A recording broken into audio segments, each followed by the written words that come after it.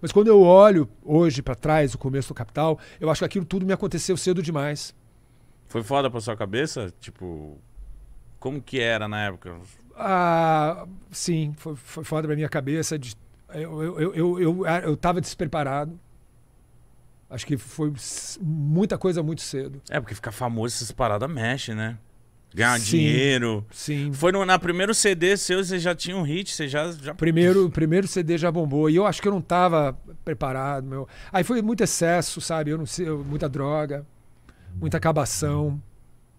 É, Fazia Eu- parte desse lifestyle, tipo, na época, você tinha que, ser, tinha que usar droga, tinha que ser doidão pra, pra tipo, mostrar que era roqueiro. Olha, não sei se todos faziam, sabe? Mas eu e eu achava que eu fazia mais para afogar essa noção que eu tinha da minha da minha de eu não estar à altura do desafio Por ser imaturo.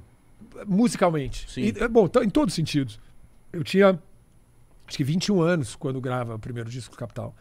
Sacou? Então eu falava, Muito meu, ah, é o primeiro álbum, né? O primeiro compacto é mais cedo ainda.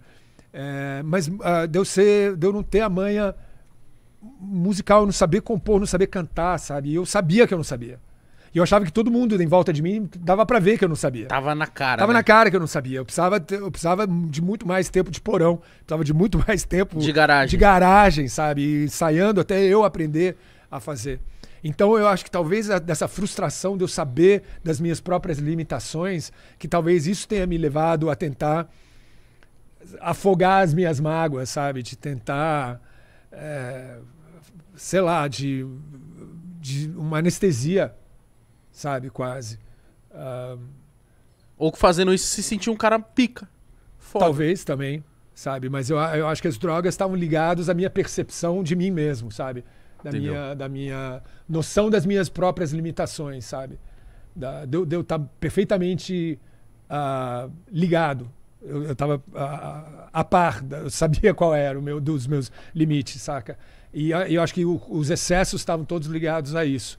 E foi preciso anos, sabe, de, de aprendizado até eu falar, beleza, agora eu, eu, eu, eu, eu- sou o senhor do meu destino, sabe? Eu sei o que eu estou fazendo, eu sei compor, eu sei cantar, eu sei dar show, sabe? Foi preciso fazer a- a- como se fosse espiar os meus demônios em público, Nossa. sabe? Nossa, assim, levar isso na frente de todo mundo, falar, "Ga- galera, porra, eu, eu, eu sei que eu.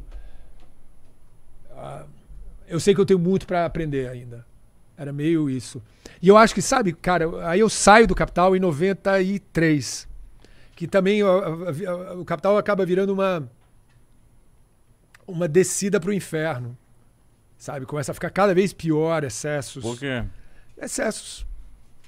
Ah, tava, tava sem limite. Porque É. tava tudo muito fácil, você estava ganhando muita grana. O que que é? Você estava muito famoso, era muita coisa acontecendo. É, cara.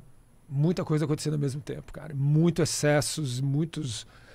é, Eu lembro disso, cara. Um período como um. Uma coisa quase fora de foco, cara. Foi uma loucura. É. Quanto tempo você ficou nessa loucura, você lembra? Ah, velho, uns 3, 4 anos. Nossa, de muito tempo, mano, de doideira. Assim, de. É incrível eu ter sobrevivido, cara. Caralho. É mesmo, Jim. Vai, Mítico. Fica na revoada aí. Oxi, meu, ba- não, meu bagulho é só pinga. Eu dei uma controlada, mas é tipo. Aquela época as drogas eram no- novidades. Ou já existia há muito tempo as drogas? Ah, não. Era álcool, álcool e cocaína, né? Basicamente eram as mesmas. Eu não sei se comigo tinha. Não sei se era comigo, que eu me excedi. Eu sei que quando eu, eu- eu- entra nesse, nesse. nessa bola de neve, de acabação, sabe? Cada vez pior, cada vez mais, cada vez mais intenso. Até que chega uma hora, no, no começo dos anos 90, eu falo: Meu, eu, vou- eu tenho que sair do capital. Tenho que parar com isso aqui. E aí eu saio. Eu, eu saio, eu tinha 29 anos. Eu, tinha, eu no capital toda a minha vida adulta, dos meus 19 aos meus 29. Aí uma hora eu falo, cara, meu, preciso parar isso aqui, velho. E aí eu saio O do público capital. sabia que tava acontecendo. Acho que não. E o público deve ter ficado doido, né? Ninguém sabia. Como assim ele saiu? Ninguém sabia, nem meus pais sabiam. Ninguém sabia. Nossa. Eu foi assim, cara. eu, olha. E aí. é, E eu morava sozinho, eu morava ali no centro. Eu morava na São Luís, cara, na República. São Paulo. Então ali você conseguia tudo que você queria. Fácil demais. Fácil do que você queria. Minha, minha- meu apartamento era aberto. Ah, os, os- os- quem quisesse podia entrar na minha casa. Meu Deus, mano. Aí, e- aí, aí, eh, o povo das noitadas ia, ficava tudo jogado na minha sala. E roubaram. Chegaram a roubar tudo que eu tinha, ficava tudo largado, doidaço. Eu entrava, roubava. Olha, velho, quando eu lembro. E aí, um pouco antes, pouco depois disso, eu conheço a minha mulher. Que é minha mulher até hoje. Nossa. Foda. Ela foi sua Maria. salvação? Ela foi minha salvação. E a partir dali, eu começo a reconstruir a minha vida do que ela é hoje. Aí, três, quatro anos depois, eu volto pro capital.